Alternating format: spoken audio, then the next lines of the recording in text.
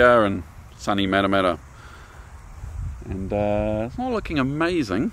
There's a lot of cloud around, but got the glider, trailer. We'll get it rigged. Should be good.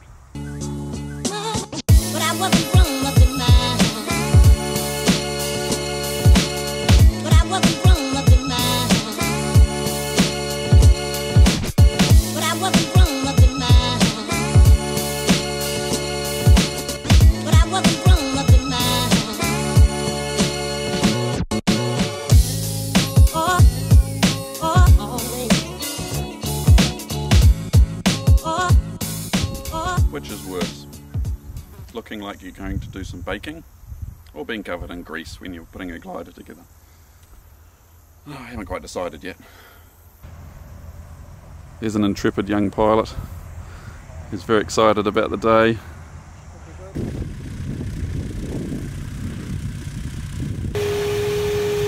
Well, here we are, two and a half thousand feet, and uh, oh, it's a nice sunny day. The cloud base though is two and a half thousand feet, so uh, that doesn't leave much height above the ground to uh, make mistakes.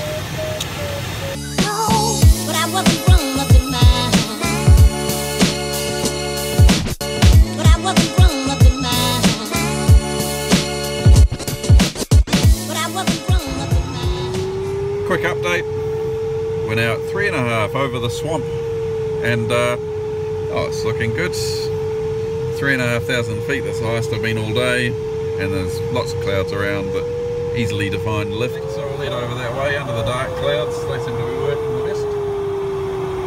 There's a swamp down to our left, looking big and scary. I would not like to land in there.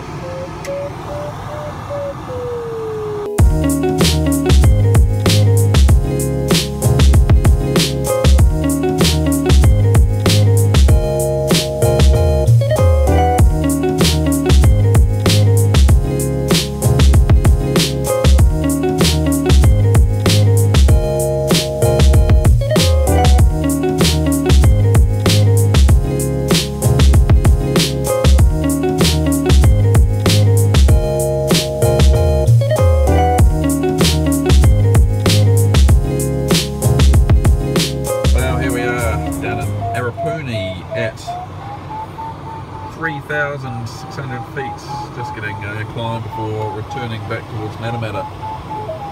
I uh, tracked south as far as I could, but um, the looks like a bit of a breeze coming in and ruining the clouds. But this is in the lee of there's a mangatau tree out there, and uh, Matamata is